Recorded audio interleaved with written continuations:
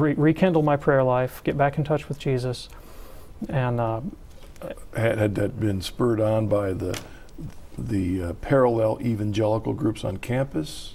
Had that been a part of it for you? no, it was really just a realization that uh, that I had I, I believed in God, I believed in Christ, I believed in the Scriptures. Uh, I had let my prayer life slip for a few years. I needed to come back to the Lord and, and rekindle that relationship that I had that I had let go, that had been part of my childhood. Um, and so that's when I, I came back into the practice of the faith in college.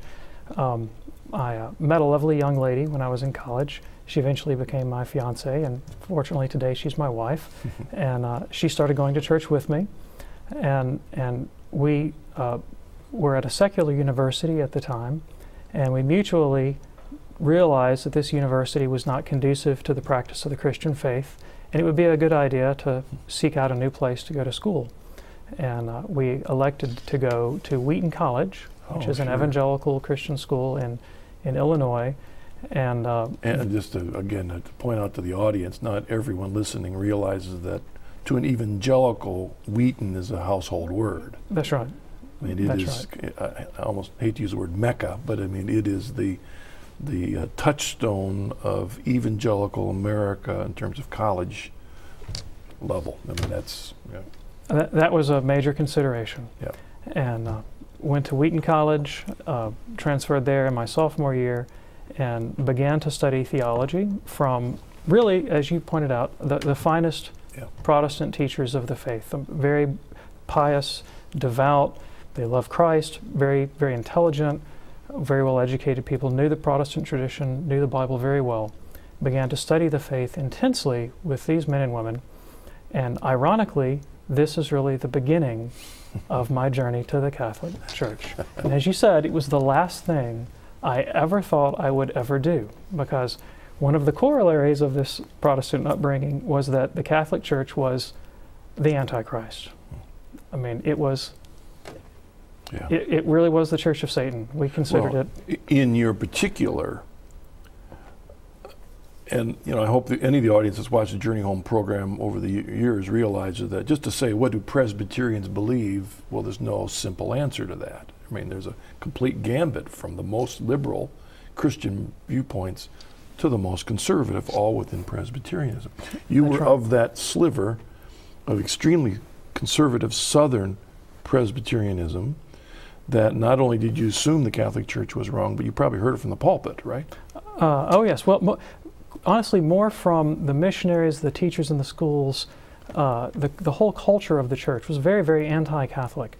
Um, I don't remember that many sermons from the pulpit specifically attacking the Catholic Church, but you didn't need to because we, we would always have people come into the church. A lot of ex Catholics would come to the church, and you would always ask them, Oh, well, were you raised a Christian? Oh, no, I wasn't a Christian, I was a Catholic. You know, but then I came into the Presbyterian Church and saw the light. So that was the whole culture of the church Yeah. that you weren't a real Christian if you were a Catholic.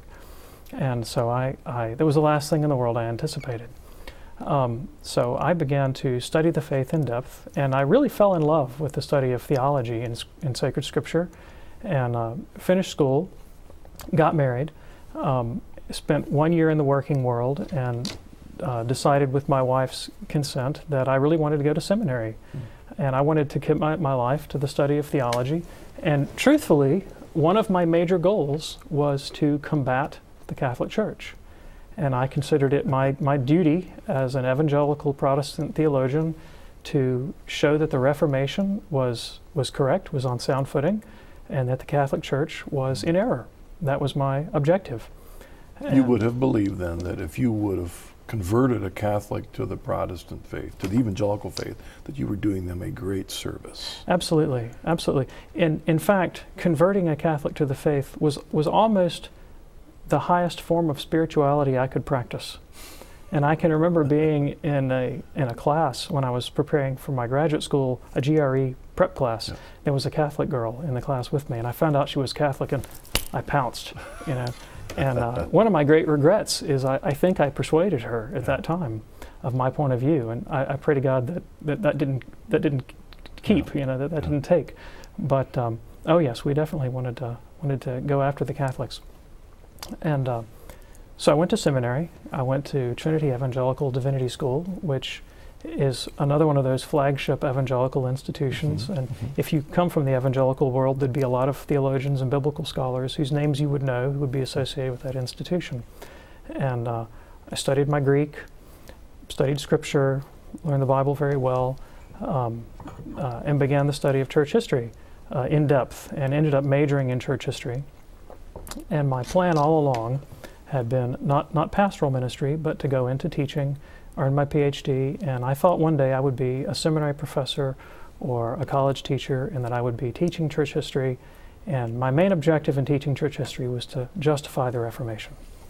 So I left, I left Trinity with that mindset and, and still very, very anti Catholic, very anti Catholic. Uh, Can I ask a question certainly. there about the history? Because when I went to seminary, Protestant seminary, and studied church history, we jokingly say that that we pretty much jumped from the apostles to Martin Luther, and then learned it from there. Uh, you majored in history. Did, did you get a bit more than that than uh, the usual? Did you actually read some of the t- fathers? Did you read Augustine and I'm, I'm glad you brought that up. Thank you. W- one of the things that is part and parcel of Protestant identity is the notion that the early church was sound and that it's w- we're not never told exactly what we mean by the early church okay we don't know when early church falls away. But at some point the church allegedly falls away from the purity of the gospel only to be recovered by Martin Luther in the 16th century. Um, and so that's part and parcel of the of the storyline. Now when you get to seminary and you begin to study and you really press and say okay well who were these early Christians? All right.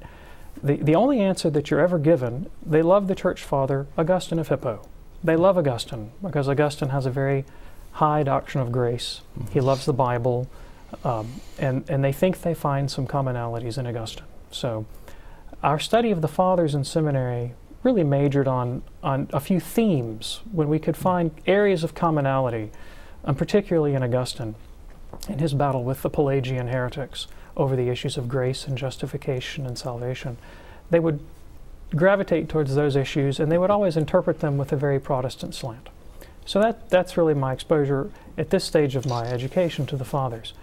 Um, Because I think I remember using a textbook from one of the professors at Trinity.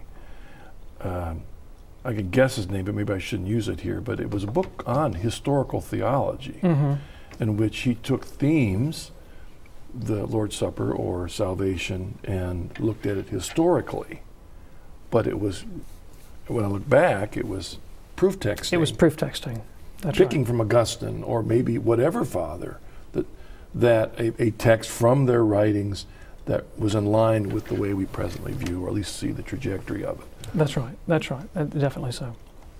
So, um, but I, I did very well in graduate school, and uh, and felt very confident about my future in theology, and and uh, I left and went to the University of Iowa, that has a an outstanding department of religion, and uh, began my PhD studies in historical theology. They would call it history of religious thought, you know, but it was essentially historical theology. And I elected to focus on once again the Reformation and particularly the, the thought and the writings of John Calvin. I grew up a Presbyterian, and Calvin was our man. And we liked Luther fine, but Calvin was the one who'd really gotten it right, and at least as we saw it. So I thought this, there's no better preparation for my future career than to immerse myself in the writings of Calvin, and all the, all the while to continue my scripture study. Uh, as I have occasion, to study the fathers, particularly Augustine. I need to learn Luther very well. Uh, uh, and uh, I think I should probably dip my toe into some medieval Catholic theologians, St. Thomas of Aquinas, uh, Duns Scotus, um, and then some American theologians that were important evangelicals like Jonathan Edwards. So I really wanted to prepare my pedigree to be the perfect Protestant theology professor, learn all the all these sources of the Protestant faith. Um, and I was rudely awakened during that process. Um, I, I studied everything that I was supposed to study, and the first hint that something wasn't right was when I really began to dive into Augustine of Hippo. He's a Catholic doctor of the church, uh, but he is, the, he is the one church father to whom the Protestants point above all as this is the one guy who believed like we do. And I read thousands and thousands of pages of Augustine. and I took comprehensive exams in Augustine, and I learned Augustine. And I came to the shocking discovery that, lo and behold, Augustine was a Catholic. And when I looked at his views of salvation and justification, uh, they were Catholic. I, I put them side to side with the Council of Trent. They were Catholic. I put them side to side with the writings of Thomas Aquinas. They were Catholic. And, and I realized that the, that the unique Protestant accents that Luther put on justification and salvation, particularly faith alone, were utterly absent in the mind of St. Augustine, mm-hmm. utterly absent.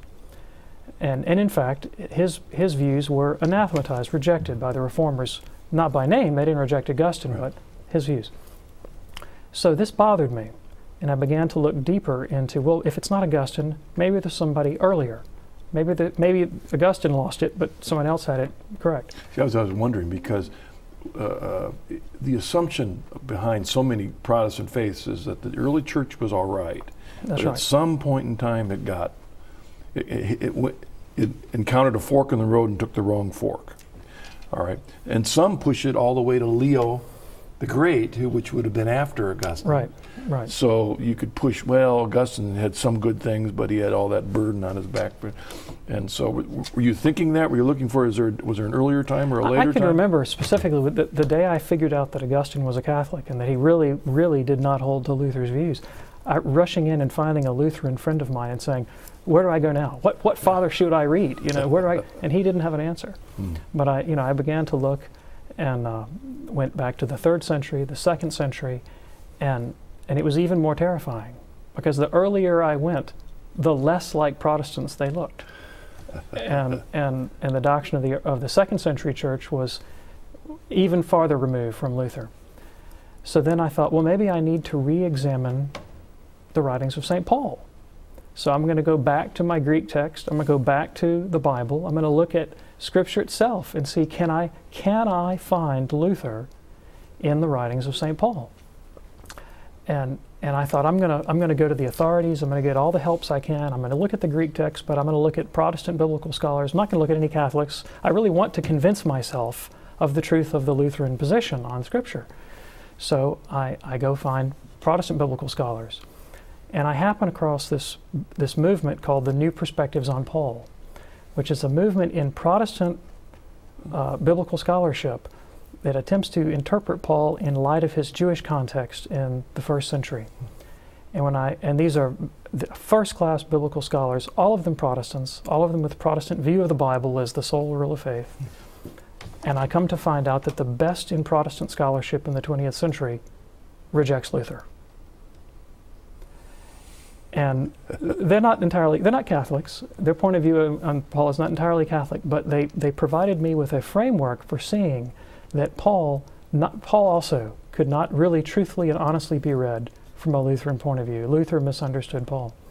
And so from from the sources of the faith, from the fathers of the church, and from the best in Protestant scholarship, I eventually came to the position that justification by faith alone was a 16th century invention by a Saxon monk who had left the church and was no part of historic Christianity. Uh, and yet, I still didn't consider becoming Catholic, but my faith was shaken.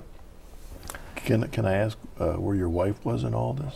Um, she was taking care of our kids. Okay. and uh, it was it was years. This was this process went on for years and sure. years. So it was a long time before she began to see that I was having some theological difficulties.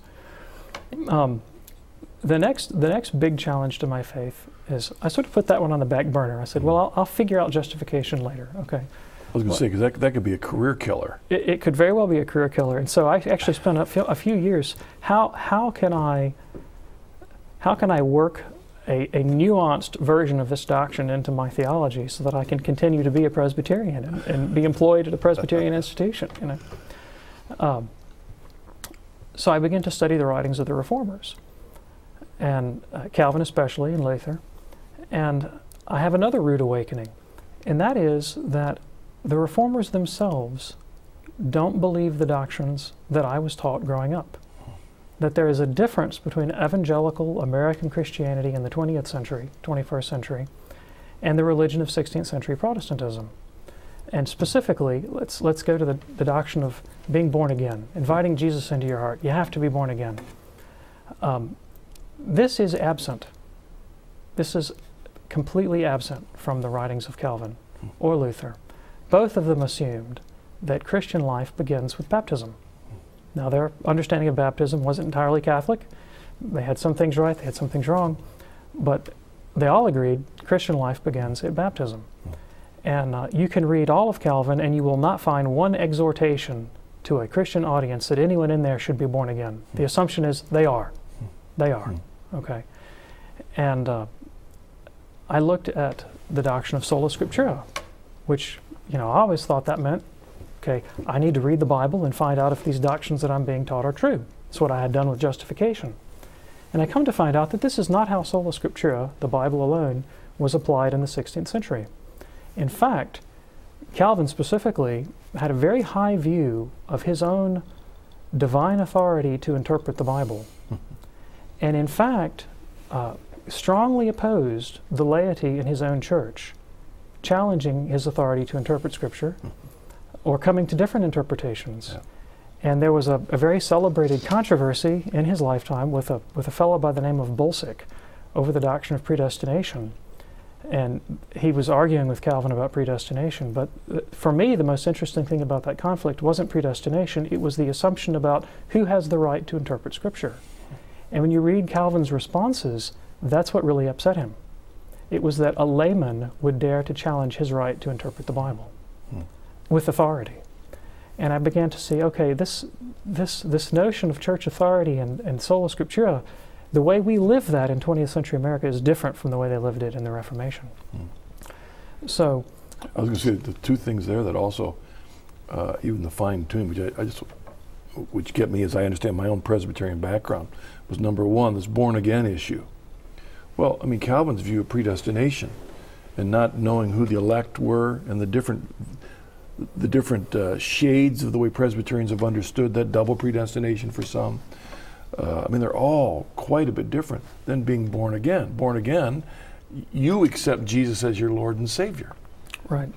You know, well, Calvin's view is, is, for some of them, some of the different Calvinist views, were that that's some people would know that your whole life whether you're of the elect or not these different views of that. And the other one you you uh, you just mentioned the whole issue of um, uh, what was the second issue you just mentioned second? We, we, the, their interpretation of Scripture. Yes. Oh, I mean, the, the two volume institutes.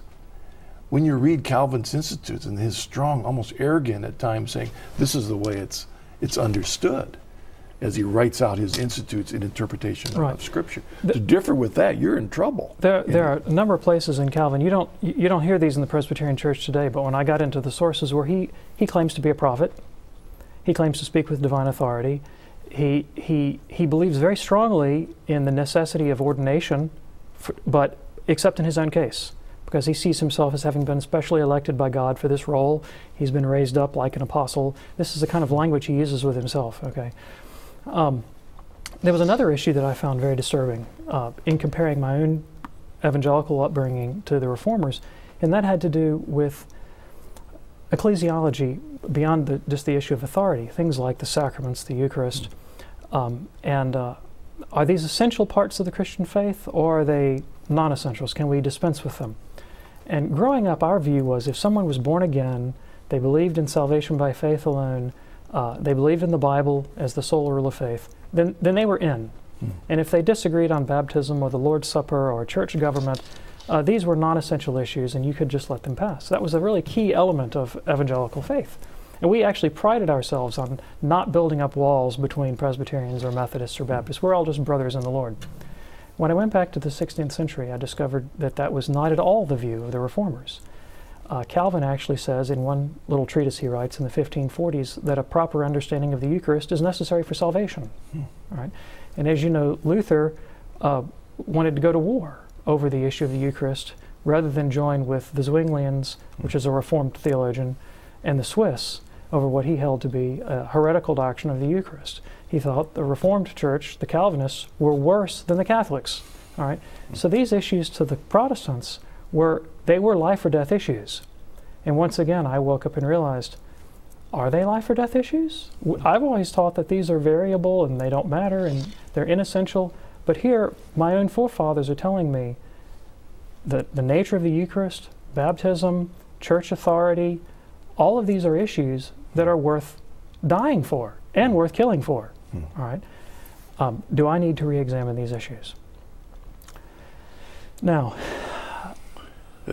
I'm getting very worried at this point. I'm getting very worried at this point.